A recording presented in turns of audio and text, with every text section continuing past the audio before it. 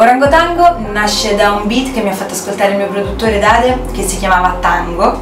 Ci siamo affezionati subito, è un pezzo molto dinamico e divertente e um, ci ho scritto su, è diventato il tango degli orangotango. Ah, se per bluppica, ok, ci ti voglio bene. Affronta tematiche disparate, nel senso che è un pezzo un po', forse è il pezzo più surrealista che ho mai fatto, perché passa veramente da un argomento all'altro. Madonna date, ma che hai fatto? Me lo metto in.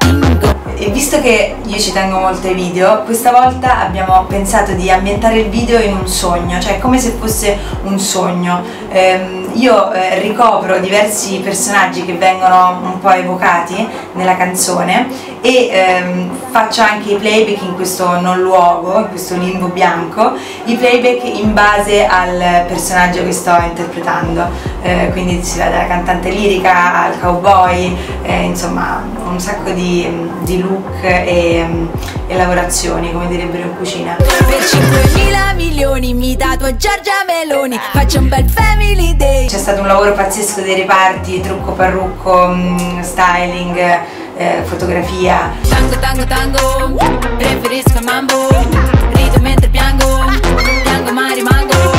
In primavera si uscirà Bingo che è il mio prossimo album e sono emozionatissima perché so che in bingo riuscirò un po' a toccare tantissimi eh, lati del, anche del mio carattere, della mia musica, eh, tant'è che un mio amico una volta mi ha, ha definito la mia musica caleidoscopica e credo che bingo ne sarà abbastanza la prova.